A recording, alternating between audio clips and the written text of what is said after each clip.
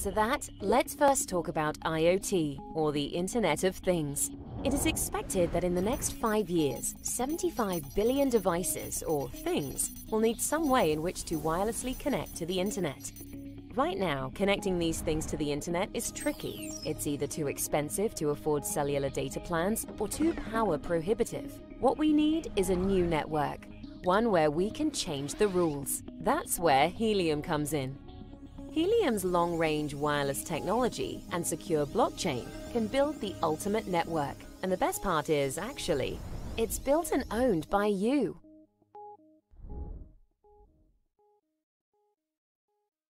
How do I build the network?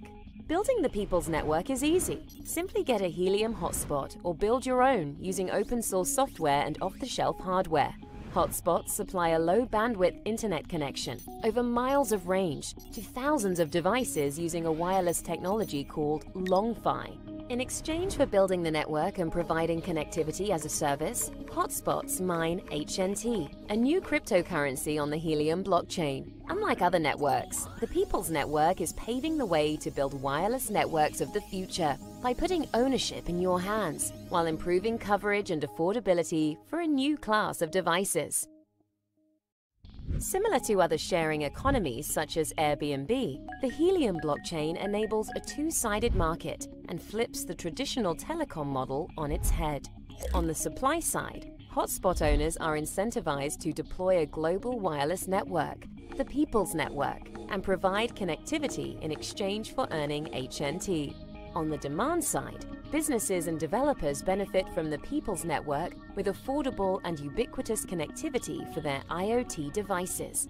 From scooter and pet tracking to environmental sensing and crucial healthcare monitoring solutions, a new class of devices finally have a way to connect over long ranges.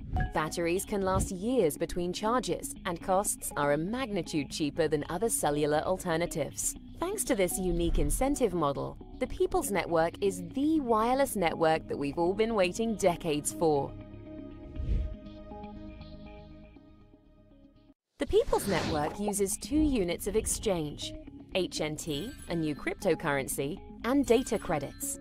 Hotspots earn HNT by transferring data from nearby devices. The more data transferred, the larger the reward. Hotspots also earn HNT by simply building the network and participating in proof of coverage. Proof of coverage, POC, is a novel work algorithm that autonomously verifies all hotspots are real and located where they say they are. In order to send data over the network, devices must use data credits. Fixed in value, data credits are created by burning HNT, reducing the total supply to achieve a burn and mint equilibrium.